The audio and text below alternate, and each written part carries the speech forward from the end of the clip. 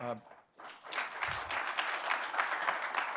Well, first off, my grandfather was actually a farmer, and he would be applauding. I mean, unfortunately, he passed, but he'd be very grateful for the comment about GMO.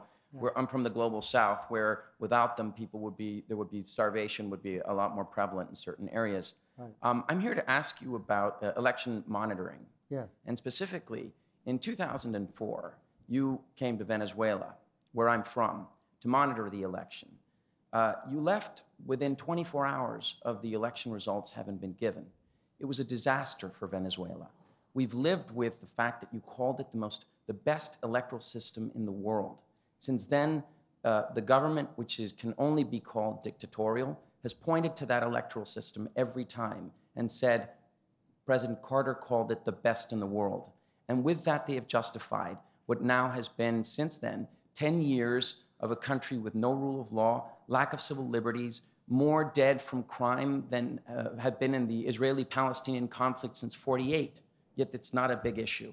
Um, what do you have to say to those of us who put our trust in you, and yet in that election, you left within 24 hours? I understand it was Mrs. Carter's birthday, but it was a disaster for us. well, the Carter Center has uh, been in the leadership role in developing the techniques and systems for monitoring elections.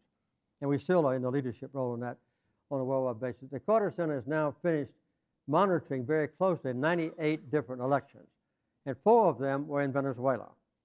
And I've, I have been there for three of those. And in my opinion, all four of those accurately represented the will of the people who voted. Let me go further. Venezuela does have the best electoral system on earth as far as the voting procedure is concerned.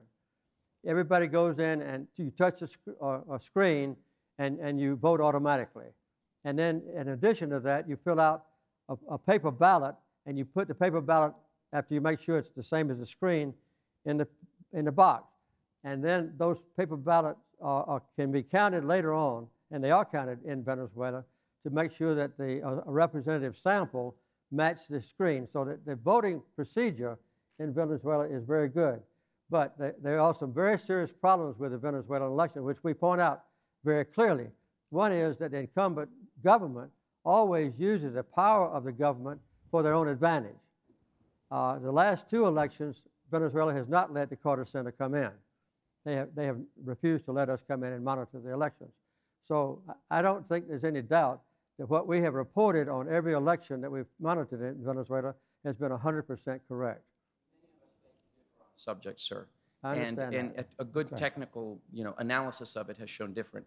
What we do ask is if you, uh, in March, you declared that you may be coming back to Venezuela. Uh, many of us would respectfully ask you not to come. Well, if, if I get ready to Uh, go to Venezuela, I- I- I'll go. Uh,